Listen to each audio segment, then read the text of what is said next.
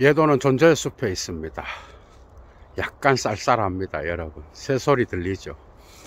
아, 지금부터 예도는 페흐디낭 드 소시흐에 대한 강의를 어, 시작하겠습니다. 사실 지금까지 예도는 소시르를 구조주의와 함께 다루었고요.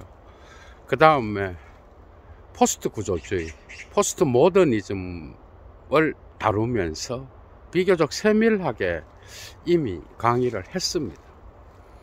그런데 오늘부터는 어, 소시르에 대하여 구조주의, 그 다음에 포스트 구조주의 이런 영향들을 빼고 이 소시르의 기호론, 그죠? 이 언어학이 어떤 특징을 갖고 있으며 소시르의 삶이 어땠는가 이런 것들부터 시작해서 체계적으로 꾸흐트 랭귀스틱 제네랄 일반 언어학 강의에 천착하여 세밀하게 여러분들과 함께 사유여행을 떠나려고 합니다. 그러니까 지금까지 예도가 소시르 강의만 어, 곳곳에서 그죠 구조주의와 포스트 구조주의를 다루면서 한 2, 30 강좌에서는 이야기했던 것 같아요. 그런데 소시르만을 다루면서 체계적으로 어, 이끌어가는 강의는 오늘부터 시작입니다, 여러분. 어? 어. 그래서 참 많은 분들의 요청이 있었고요. 특히 오늘날의 철학을 하는 어, 모든 분들에게 이 소시르는 정말 결정적인 어, 학자라고 할 수가 있어. 그게 소시르를 모르면 구조주의의 레비스트로스와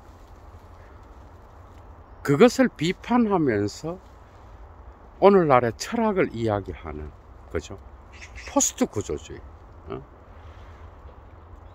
미셸 푸코, 자크 라캉, 자크 데리다, 그 다음에 폴 리쾨르,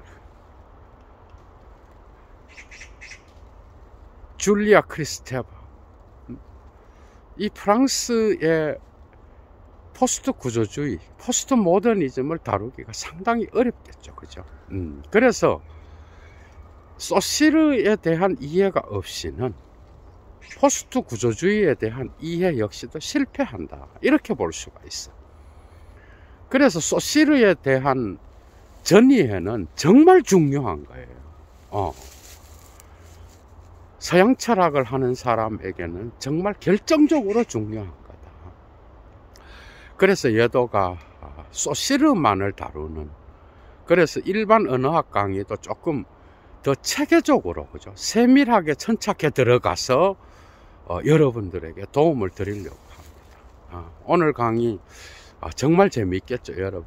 어, 좋아요 잊지 마시고요. 어, 예도만의 클래스를 갖고 어, 지금까지 850여 개의 강의에 도달하고 있는데 서양 철학의 토대를 잡고 그죠? 서양 철학을 읽어 나가는 데 있어서 도움 받으신 분들 가운데 여건이 되시는 분은 꼭 사막의 철학 예도 TV를 후원해 주십시오. 자발적 수업료겠죠, 그죠? 어, 얘도 강의 들어갑니다. 페르디낭드 소시르는요, 스위스 제네바에서 1857년도에 태어납니다. 이게 프로이트랑 1년 차이로 태어나는 거예요. 사회학자 디르캠과도 1년 차이, 1년 전후, 전후로 태어나. 어. 제네바에서 태어났고, 아버지는 유명한 박물학자였어. 집안 대대로 자연과학에 관심이 많았던 그런 부모님 밑에서 자라게 되는 어렸을 때부터 언어에 대한 관심이 많았어요. 그래서 15세까지 영독불, 그리스 라틴어에 상당히 어, 깊이 있는 수준까지 도달했고요. 이게 이제 스위스는 독일어, 불어가 함께 공존하는 그런 나라잖아, 지금도. 어, 그래서 이런 언어들을 섭렵하는데 좀 쉽지 않았을까 하는 생각도 듭니다. 어찌되었건 15세까지 영독불 라틴어 그리스어의 상당히 높은 수준에 이르렀고요. 17세부터 산스크리트어를 공부합니다. 그러니까 인도 유럽어의 정통한 사람들이 또한 산스크리트어를 어, 공부하게 되잖아. 그죠? 어, 이게 토대니까. 그러면서 언어학을 상당히 어, 깊이 있게 다룰 수 있는 토대를 이미 어렸을 때 마련하게 돼. 그런데 부모님의 영향으로 제네바 대학교에 입학해서는 그죠. 어, 75년도에 입학을 하게 되는데 이 시기에는 물리학과 화학을 자연과학 쪽으로 공부를 해. 그런데 또 틈틈이 언어학도 함께 공부하는 이런 시절을 1학년 때 제네바 대학에 들어가서 보내게 돼. 그러다가 이제 76년도에 그죠. 프랑스 언어학회에 가입하게 되고 그 다음에 그 당시에 독일 라이프치히 대학의 신문법학회라고 하는 음? 그러니까 의문법칙의 필연성을 연구하는 어? 그런 대가들이 또 있었어. 그래서 독일로 유학을 갑니다. 라이프치히 대학으로. 그게 거기에는 브루그만이라고 하는 대가가 있었는데요. 음? 그 과정에서 어, 자기가 제네바에서 1년 동안 허비했다라는 생각을 하면서 어, 독일로 유학을 떠납니다. 그때부터 졸업할 때까지 거의 한 80년대에 어, 산스크리트어에 대한 절대적 속격으로 박사학위 논문을 끝낼 때까지 라이프치 대학에 머물고 또 베를린에 가서 언어 역사를 또 연구하기도 해. 베를린에 또 대가가 있었습니다. 그러니까 이런 과정을 거치면서 그의 독일에서의 삶이 끝나. 그런데 중요한 거는 78년도에, 그죠? 78년도, 1878년도에 인도 유럽어에 대한 어떤, 어? 몸 체계에 대하여 논문을 출간하게 돼. 이게 또 유명한 어떤 그 언어학계에서는 그 당시에 그죠 어, 유럽에서 어, 유명한 작품이 되는데요. 여기에 대해서도 예도는 어, 점점 어, 심도 있게 여러분들에게 계속해서 강의를 이어나가면서 소개해 드리려고 그러니까 78년도에 이미 독일 시기에 그죠? 독일에서 유학 시기에 자기 논문을 출간한다고. 이게 박사학위 논문이 아니에요. 응? 그러니까 소시르의 관심은 언어 자체에 대한 어떤 문법 연구라기보다는 언어의 바탕이 되는 게 뭘까에 항상 관심이 있었어. 그래서 그 당시에 자기 선생이었던 브로그만을 중심으로 의문 법칙에 대한 그죠 어떤 연구를 그 이전에 이미 소시리는 생각하고 있었어. 그런 것들이 맞아떨어지면서 이제 유학의 만족감을 얻는데요. 어? 그런데 이제 80년도에 박사학위 논문으로 그죠? 어, 1880년 그 산스크리트의 절대적 속격이 통과되고 난 뒤에 독일에서도 인정을 받았지만은 독일에 머물지 않고 또 프랑스로 가게 돼. 어? 여기에서 결정적인 어떤 새로운 학문의 연구가 또 열려집니다. 특히 그 당시에 유명했던 프랑스 어? 의학회에 또 가담했잖아, 그죠? 젊은 시절에. 어? 거기에 열심히 참여하고, 그 다음에 한 실업고등학교에서 언어학을 가르치게 돼. 어? 그러면서 거의 한 10년을 머물러. 91년도에는 제네바 대학에 교수로 초빙되는데요. 이 시기까지 프랑스에서 실업학교에서 학생들도 가르치고 또 프랑스 언어학회에 또 참여해서 열심히 활동하게 된다. 음. 그러면서 비교적 만족한 삶을 영위하다가 91년도에 자기 고향인 제네바 대학교에서 초빙이 와서 프랑스에서의 삶을 정리하고 다시 스위스로 오게 되죠. 그죠? 91년도. 그러니까 프랑스에서 레종 도네르 상을 받을 정도로 그죠? 소시르는 비교적 프랑스에서의 어떤 그 모든 삶에 만족했어요. 어. 그런데 자기 고향에서 교수가 교수로서 이제 언어학을 가르치는 초대를 받자 소시르는 미련을 두지 않고 제네바로 오게, 오게 됩니다. 여기에서 이제 결정적인 강의를 거의 한 십몇 년이 지나서 하게 되는데 거의 그의 말년에 하게 돼요. 어? 언어학 교수가 또 은퇴하기도 하고 이래서 강의를 하게 되는데요.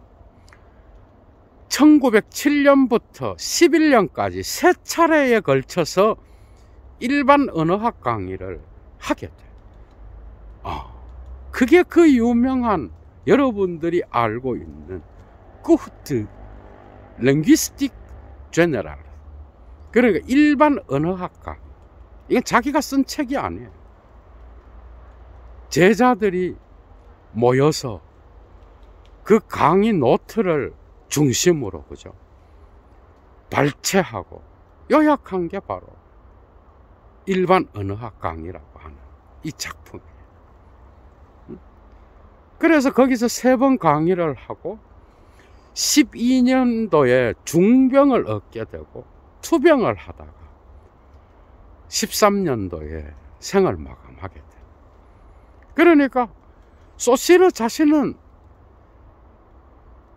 자기의 어떤 사상이 그죠. 언어학에 대한 어떤 견해가 그렇게 혁명적이고 대단하다라고 생각하지도 않았어. 어. 그리고 비교적 평범한 생활을 영위했고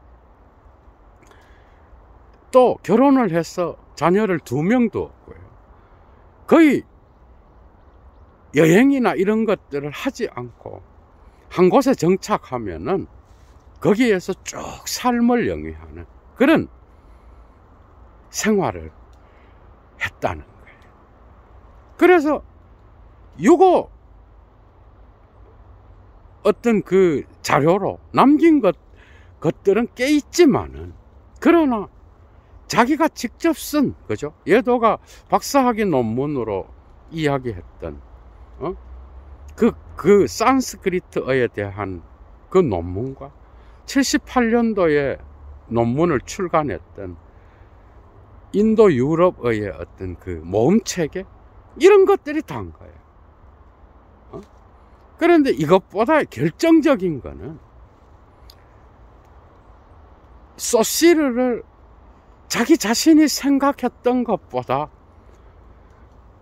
프랑스의 어떤 그 아니 서구 철학에 결정적인 영향을 미치게 된 그 작품 언어학 구조 인류학 사회과학 문학 비평 어? 소시르 이후에 이 소시르의 언어학을 모르고는 거죠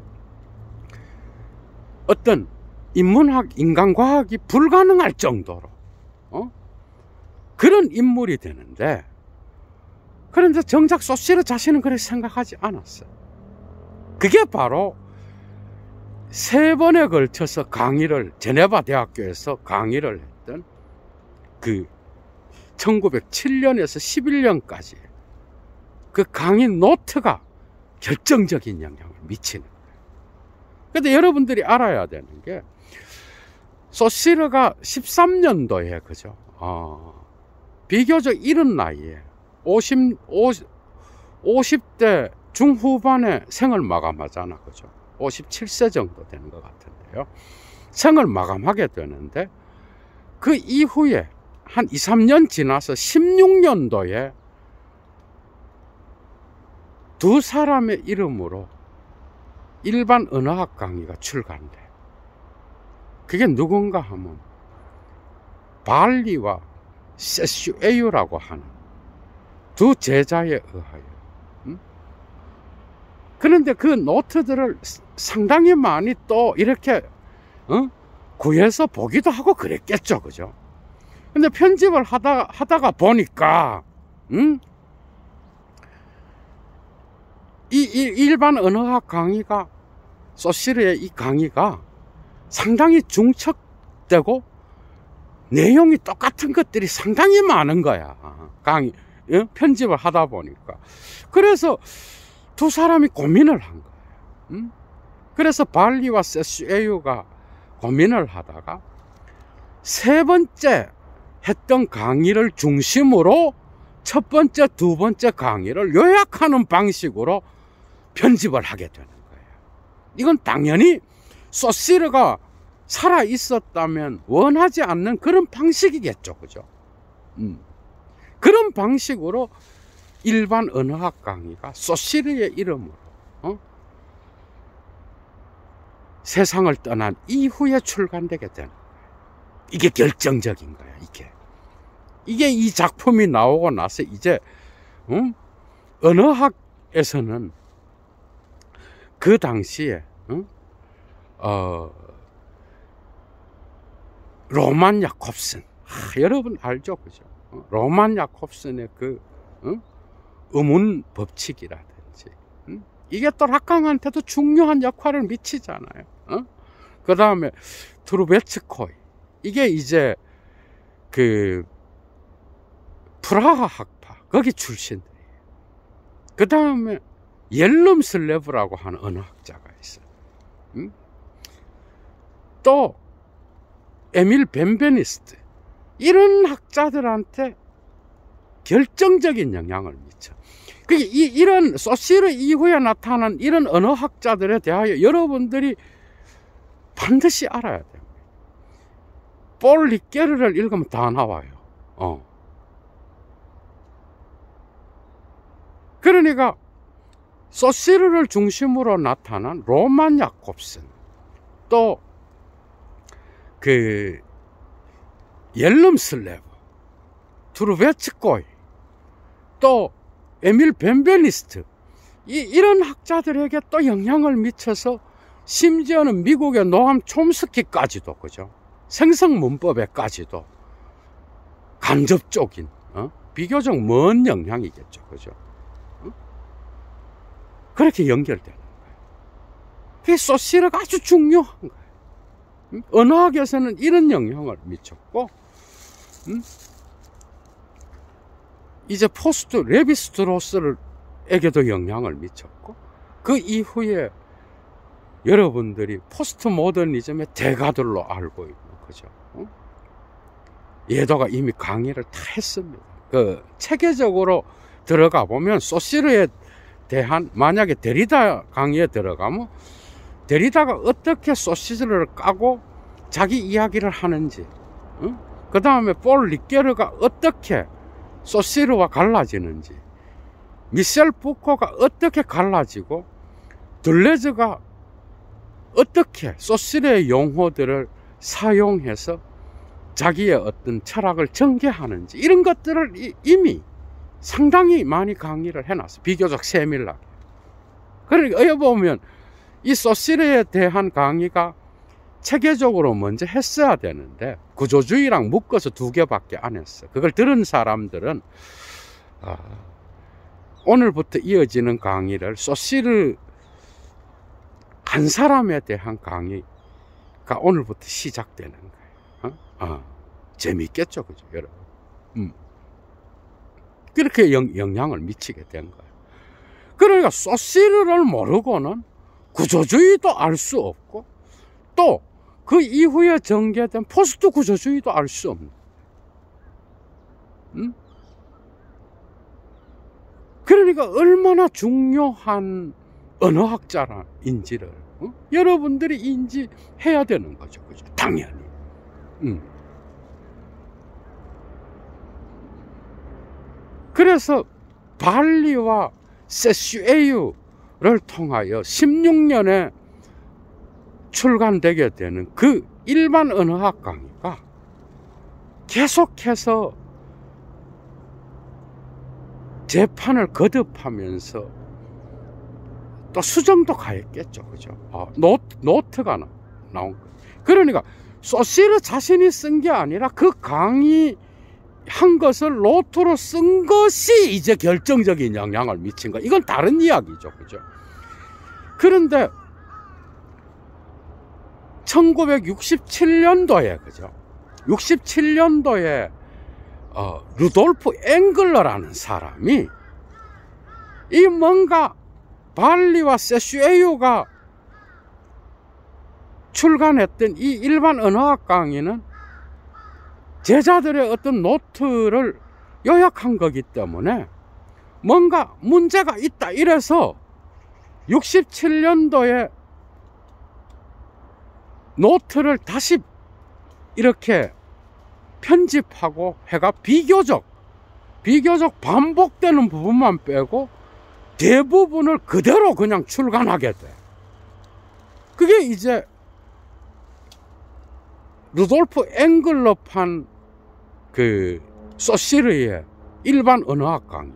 그게 일반 언어학 강의는 강의 노트를 그대로 비교적 그대로 출간한 앵글러판이 있고 그걸 세 번째 강의를 통하여 편집한 발리와 세슈에유판이 있는 거야. 재밌죠? 요래되는 거야. 어. 그래서 이 소시르를 인용할 때는 이 두 개가 거의 함께, 그죠? 보충적으로 인, 인용될 때가 많아. 그 이유는 강의 노트가 앵글러가 편집해서 출간했던 이 강의 노트가 왜 중요한가 하면은 발리와 세슈에유판에는 이런 차이가 있어. 소시르가 직접 살아 있었다라고 하면은 그 강의가 전개되는 그 순서가 있잖아. 그죠? 그 순서대로 사유를 해서 정리를 해서 출간을 했겠지만은 소시르의 의도와는 다르게 발리와 세슈에르는 과감하게 그죠 에유는 과감하게 그 일반 언어학 강의에 대한 그 내용을 의미에 맞게 자기들 나름대로 편집을 한 거예요. 응? 그러니까 앵글러가 생각할 때는 이 노트에서 강조된 부분들이 빠져 있고 또 중요한 것들이 순서가 바뀌어져 있고 이래서 이거 이 노트를 그냥 그대로 가급적이면 출간하는 것도 중요하다. 이래서 자기가 그것을 출간하게 됩니다. 그래서 두 개의 강의 노트와 일반 언어학 강의를 요약한 어? 첫 번째, 두 번째가 강의 노트를 가능하다 그러면 그대로 출간한 이 두 개가 있는 거예요. 응? 그러니까 첫 번째 발리와 세슈에유의 판은 어떻게 되겠어? 뭔가 소시르가 살아 있었다라면 다르게 그 책을 구성했을 그 순서가 뭔가 뒤죽박죽일 것이고 무엇보다 중요한 것 그게 뭔가 하면은 소시르의 이 일반 언어학 강의에서 중요한 개념이 바로 기호의 자의성이에요. 응?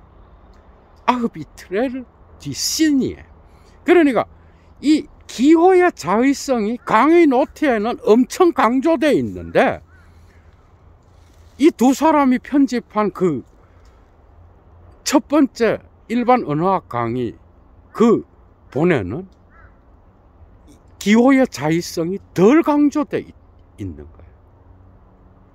이런 문제점들이 있는 거예요. 그리고 소리 이미지와 음성에 대한 어떤 그러한 내용이 일관적이지 않게 편집이 되어 있어.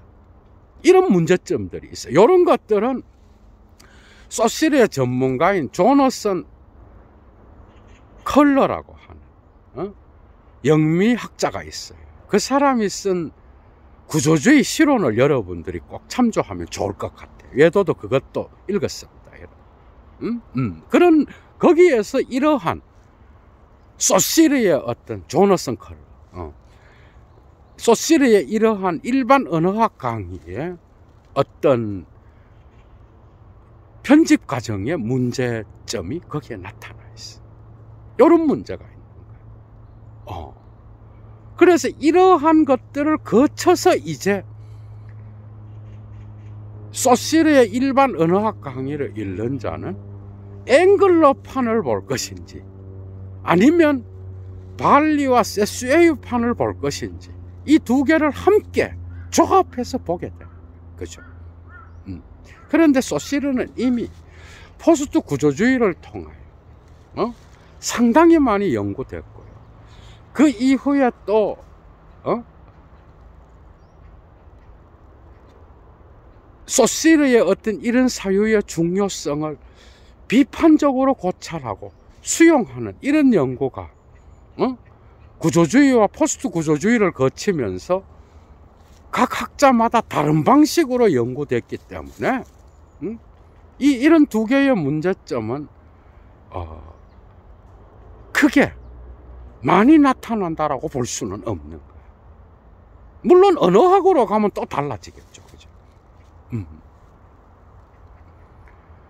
그래 이게 결정적인 영향을 미친 이유는 결국 소시를 이전에는 거죠. 그 의미는 말을 만드는 자의 어떤 그 빠홀의 어떤 어? 살아있는 생생한 음성을 통하여 이건 철학에서도 중요하잖아 그죠 어 그래서 이 이 주체의 말하는 발성을 통하여 의미가 형성된다라고 본 것도 있고요. 철학에서는 이, 이 이거를 이제 후설의 어떤 그 주관성 안에서 나타나는 어? 존재 의미 이거를 목소리와 현상으로 까면서 데리다가 67년도에 어? 자기의 철학을 수행하죠. 그죠? 이런 것들도 다 이런 소시르의 언어학을 기본적으로 알고 있어야 돼. 그러니까 어떤 의미는 기호 체계로부터 나온다. 그 기호 체계 안에는 차이만 있다라는 거예요.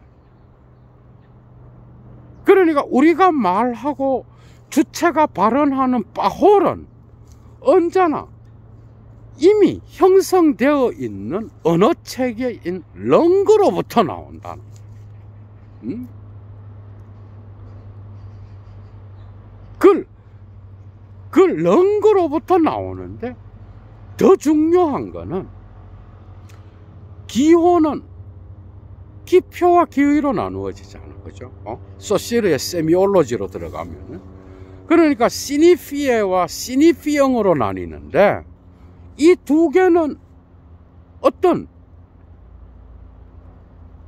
특별한 절대적 관계를 맺고 있지 않으며 필연적 관계도 없으며 이 두 개는 그냥 자위적 관계만을 맺고 있다. 이런 것들을 이제, 이제 세밀하게 다룰 거예요. 오늘은 첫 번째 강의라서 일반 언어학 강의의 편집 과정까지를 다루는 게 예도야. 뭐. 음. 그래서 대략적으로 말하자 그러면 소시르에 이런 용어들 있잖아. 그죠? 시니피앙, 시니피에. 이거 뭐 레비스트로스, 그리고 들뢰즈 푸코, 줄리아 크리스테바, 데리다, 폴 리케르. 뭐 다 중요하죠. 그죠? 응?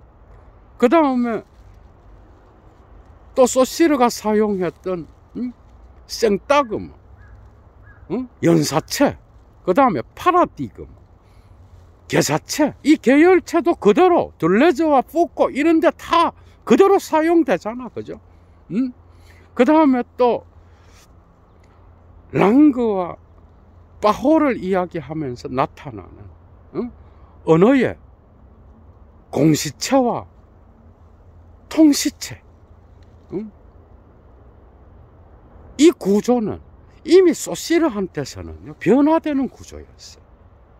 그러나 소시르의 강조점은 어떤 이 구조가 시간의 변화 가운데서도 언제나 이미 변형되면서 큰 체계로서 사회 문화를 구성한다라고 본 거예요. 사회적 규약, 관습으로서 나타난다라고 본 거예요. 응? 그러니까 통시적인 언어의 어떤 그 발전이 이런 공시적인 체계 안으로 언제나 수렴되기 때문에 언어에 대한 주된 연구는 랑그에 있다라고 소시르는 본 거예요. 응? 그러니까 이 언어 체계, 기호 체계 안에는 뭐예요? 차이만이 있는. 이 차이를 통하여 의미가 형성돼. 기표와 기의 사이에는 어떤 필연적 관계나 절대적 관계가 아니라 자의적 관계로서 음? 각 문화마다 그 소리 이미지와 개념은 자의적으로 형성되어 있다 이 말이에요. 이거는 통시성을 인정하는 공시예요. 나중에 더 세밀하게 이야기하겠지. 음?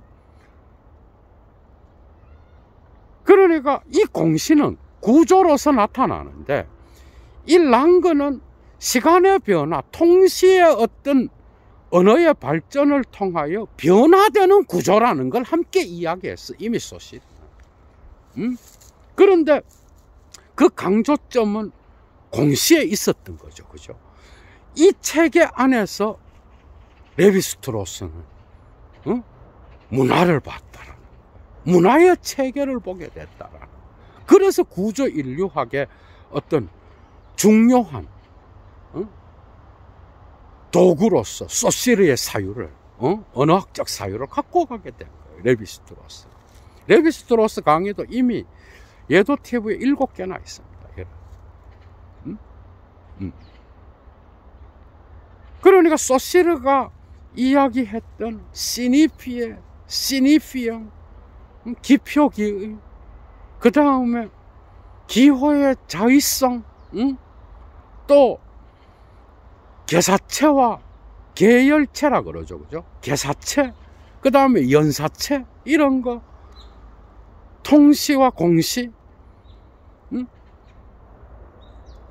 랑그와 파홀 이런 것들이 다 일반 언어학 강의에 포함되어 있습니다. 여기에 대한 강의를 이제 세밀하게 어? 다음 시간부터 천착해 들어가겠습니다, 여러분. 음? 그러니까 오늘은 이런 용어들이 아 구조주의와 포스트 구조주의에게도 영향을 미쳤고 문학 비평 그러니까 철학, 문학 비평, 사회학, 음? 인류학 거의 모든 곳. 그 다음에 미학계까지도 영향을 미쳤어. 어? 이걸 모르고는 오늘날 철학을 할 수 없는 지경이에요. 그래서 소시르를 따로 비교적 체계 있게 체계적으로 다루려고 예도가 기획했습니다. 그러니까 오늘은 일반 언어학 강의가 이런 편집 과정을 거쳐서 발리와 세슈에유의 어떤 그 최초의 편집된 강의 노트가 아 강의 노트가 책으로 나왔고 67년 이후에 앵글러를 통하여 강의 노트를 비교적 어? 그대로 출간하는 그러한 소시르의 강의본이 또 나왔다 이 두 개를 갖고 이제 왔다 갔다 하면서 보충하기도 하고 하겠는데 이제 세밀하게 어, 강의를 들어가야 되겠죠, 그죠? 음. 여러분들 재미있는 시간이 되리라고 어, 예도는 확신합니다. 예. 건강한 어, 주말 보내시고요. 어디에 계시든 여러분 꼭 건강하시기 바랍니다. 얘도 물러갑니다. 주스.